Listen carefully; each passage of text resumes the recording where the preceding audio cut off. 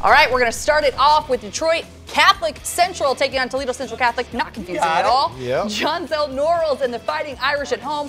Taking on DCC, second quarter game scoreless. Norrells takes the snap, finds some blockers, finds the end zone. Central up 7 0. Now, Irish still not done in the second. Bishop Vargas with a swing pass out to Tayshawn Johnson. He does the rest, makes a couple of cuts, a few guys miss, finds the gap, and is gone 73 yards.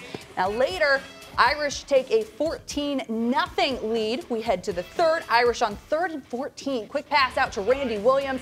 And check this out Williams spin move to fight off two defenders, stays on his feet and scores. The offense not the only ones getting it done. Defense forcing the fumble late in the game. Carter Fowdy picks it up and takes it in for the score. Irish uh-huh. win it 28 to 6.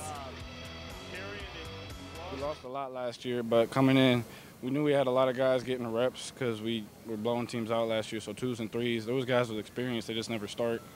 So we was just trying to pick up where we left off, and the guys that did start from last year was just trying to continue the tradition.